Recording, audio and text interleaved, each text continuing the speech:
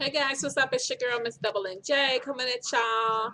Um, just wanted to do a quick outfit of the day for you guys. Um, me and my hubby and uh, some of the kids, because one of them going to a carnival. She don't want to go with us. But um, we about to go out to dinner, so um, I just wanted to show y'all what I was wearing. Y'all going out to dinner? Yes, we're going out to dinner. Well, how much longer do you think you're gonna keep- I just said we was going. Anyway, okay. Here's the outfit, guys, real quick. Because I can grow.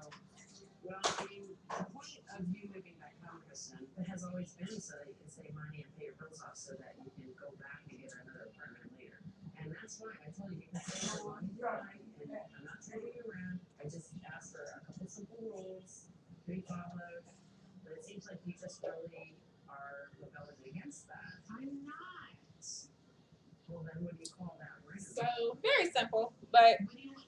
I thought it was cute to step out in. And of course, I'm rocking my basketball inspired earrings.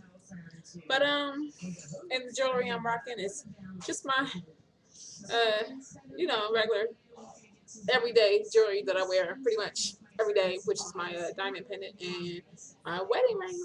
But uh, all right, guys, I'll let y'all later. I'm gonna go eat, but good. I haven't eaten all day, by the way, guys. I had a small bowl of cereal earlier, and I have not eaten all day. And I you're probably thinking, "Ooh, she about to be clowning," but no, I'm gonna do it all right. Um, I'm not gonna overeat, and I'm gonna really watch what I order. So, all right, guys, peace out.